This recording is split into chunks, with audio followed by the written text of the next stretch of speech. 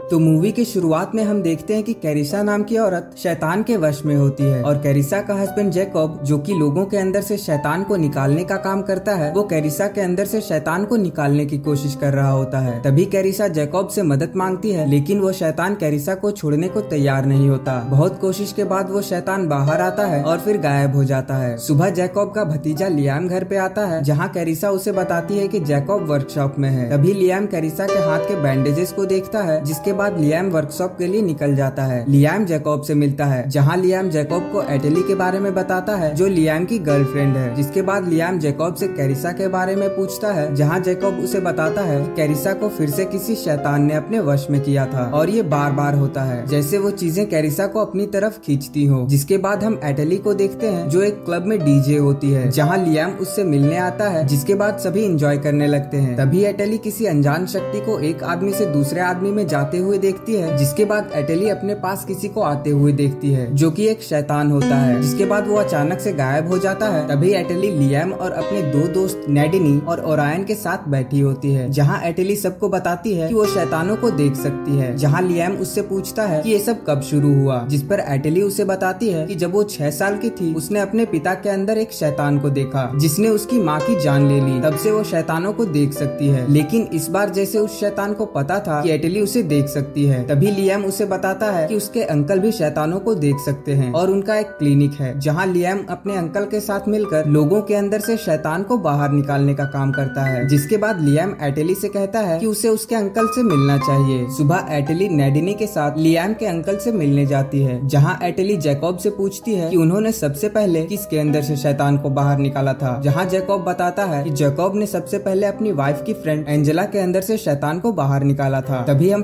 Flashback में देखते हैं, जहाँ एंजेला कुर्सी से बंधी होती है और जैकब उससे पूछ रहा होता है ये किसका शरीर है, जिसके बाद वो शैतान अपने रूप में आने लगता है। तभी जैकब बार बार उसी सवाल को दोहराता है, जिसके बाद एंजेला कहती है कि एंजेला का शरीर है, जिसके बाद जैकब उस शैतान को बाहर खींच कर निकाल देता है। तभी वो शैतान जैकब की तरफ़ बढ़ता है, जिस पर जैकब उसका गला पकड़ लेता है, जिसके बाद वो शैतान गायब हो जाता है। तभी इधर प्रेजेंट टाइम में जैकब उनसे कहता है कि 20 मिनट में उनका कोई क्लाइंट आने वाला है, जिस पर लियाम और जैकब वहाँ से क्लिनिक के लिए निकल जाते हैं। क्लिनिक पहुँचते ही जैकब देखता है कि कोई आदमी गुस्से में क्लिनिक से बाहर आता है, जिस पर जैकब अपनी रिसेप्शनिस्ट से पूछता है कि वो कौन था। तभी वो उसे बताती है कि उसका नाम मार्टिन है और वो यहाँ किसी पुजारी को ढूंढ रहा था, जिस पर रिसेप्शनिस्ट ने उसे मना कर दिया कि यहाँ पर कोई भी पुजारी नहीं रहता। जिसके बाद हम हेलेन और डेमियन को देखते हैं, जहाँ हेलेन जैकब को बताती है कि डेमियन ने अपने दोस्त को मारने की कोशिश की, जिस पर जैकब डेमियन से चेयर पे लेटने को कहता है और डेमियन के हाथ बाँध देता है। जिसके बाद जैकब डेमियन से पूछता है कि ये किसका शरीर है? जेकॉब बार बार सवाल को दोहराता है, तभी हम डेमियन के मुँह में उस शैतान को देखते हैं। जेकॉब सवाल पूछता है, लेकिन वो शैतान डेमियन को जवाब नहीं देने देता, जिस पर हेलेन गुस्सा हो जाती है और डेमियन को धमकी देकर पूछती है कि ये किसका शरीर है, जिस पर डेमियन कहता है कि ये उसका शरीर है। तभी जेकॉब उस शैतान को बाहर निकालता है, लेकिन वो शैतान जेकॉब के अंदर चला जाता है। तभी लियाम, हेलेन और डेमियन को बाहर छोड़ता है, जिसके बाद जेकॉब क्लिनिक के पीछे वाली जगह में जाता है, जहाँ वो अपना मास्टर एक्सोरसिज्म करता है और उस शैतान को वापस नर्क भेज देता है। तभी मार्टिन की वाइफ नैन्सी जैकब को कॉल करती है, जहाँ वो कहती है की आपने लार्से फैमिली के बारे में तो सुना ही होगा, जहाँ हस्बैंड ने शैतान की पूजा की और अपने पूरे परिवार को मारकर खुद भी मर गया, जिस पर जैकब कहता है कि वो एक भयानक घटना थी। तभी नैन्सी बताती है कि वो और मार्टिन अभी उसी घर में रह रहे हैं और उन्हें मदद चाहिए। जैकब उन्हें क्लिनिक पे बुलाता है, लेकिन नैन्सी जैकब को अपने घर आने के लिए रिक्वेस्ट करती है, जिस पर जैकब कहता है कि वो कल दोपहर लंच के बाद आ जाएगा, जिसके बाद हम देखते हैं कि रात में एटली की नींद खुल जाती है, जहाँ वो देखती है कि नेडनी दीवार के सामने अजीब हरकतें कर रही है। एटली उसे आवाज़ लगाती है। तभी हम इधर नेडनी को देखते हैं, जो अपने रूम में होती है, और एटली की आवाज़ से जाग जाती है। तभी इधर एटली देखती है कि वो नेडनी नहीं, बल्कि एक शैतान है, और दीवार पे लिख रही होती है कि डेथ इज़ हियर तभी लियाम भी बाहर आ जाता है, जिसके बाद वो शैतान एटली को पीछे की तरफ़ फेंकता है। लेकिन तभी लियाम एटली को पकड़ लेता है, और इधर नेडिनी ये देखकर एक्साइटेड हो जाती है कि एटली उड़ रही थी, जिसके बाद जेकॉब लियाम को कॉल करता है, और बताता है कि नैन्सी की घर की हालत बिगड़ गई है, जिसके बाद सभी नैन्सी के घर पे पहुँचते हैं, जहाँ जेकॉब सबको बताता है कि कुछ देर पहले मार्टिन ने नैन्सी से खुद को बांधने के लिए कहा, जिसके बाद सब घर के अंदर जाते हैं, जहाँ ओरायन डर जाता है और बाहर जाने की कोशिश करता है, लेकिन सारे दरवाजे अपने आप ही लॉक हो जाते हैं, जिसके बाद नेडनी और ओरायन नीचे रुकने का फैसला करते हैं और बाकी सब ऊपर मार्टिन के कमरे की तरफ़ जाते हैं, जहाँ जेकॉब उनसे बाहर रुकने को कहता है और जेकॉब अंदर जाता है, तभी जेकॉब नीचे की चीज़ों को हटाता है, जहाँ एक स्टार स्टार का सिंबल बना होता है और उस पर लिखा होता है अकामैना, जो कि एक शैतान का नाम है, जिसके बाद जैकॉब सबको अंदर बुलाता है। तभी अचानक कोई ताकत एटली को अलमारी में खींच लेती है, जहाँ एटली अंदर एक शैतान को देखती है, जो एटली की तरफ़ बढ़ता है। तभी जैकॉब अलमारी खोल देता है, जिसके बाद जैकॉब मार्टिन के शैतान से उसका नाम पूछता है, जिस पर वो शैतान निकल कर ऊपर चला जाता है। तभी जैकॉब एटली को बताता है कि उसने जो देखा, वो एक सोल्जर डीमन है, जिस पर लियाम उसे बताता है कि सोल्जर डीमन ताकतवर शैतानों के लिए काम करते हैं, यानी कि मार्टिन को किसी ताकतवर शैतान ने अपने वश में किया है, जिसके आसपास उसके सोल्जर्स भी हैं। और इससे पहले इन्होंने ऐसे किसी शैतान का सामना नहीं किया, जिस पर जैकॉब कहता है कि उसे फुल एग्जोसिज्म करना होगा, क्योंकि शायद से घर के पहले ओनर ने उस स्टार सिंबल के ज़रिए किसी एकामैना नाम के शैतान को इस दुनिया का रास्ता दिखाया। तभी इधर हम देखते हैं कि एक शैतान नेडिनी से ओरायन को मारने के लिए कहता है, जिसके बाद नेडिनी ओरायन को मारने लगती है और अचानक से होश में आ जाती है, जिसके बाद नेडिनी बाकी के लोगों को ओरायन के बारे में बताती है। जिस पर लियाम और एटली ओरायन को देखने जाते हैं, जहाँ एक शैतान ने ओरायन को वश में किया होता है। तभी लियाम ओरायन को जीसस के लॉकेट से टच करता है, जिस पर वो शैतान ओरायन से बाहर आ जाता है। तभी लियाम नैन्सी की चीख सुनता है और दोनों वापस से उसी रूम में जाते हैं, जहाँ जैकोब हवा में होता है और उसका मुँह बंद होता है और नैन्सी के अंदर वही मार्टिन वाला शैतान होता है। तभी लियाम जैकोब से अपना नाम कहने को कहता है, जिस पर जैकोब मुश्किल से अपना नाम कहता है, जिसके बाद जैकोब नीचे आ जाता है। तभी नैन्सी हवा में उड़ने लगती है, जिस पर जैकोब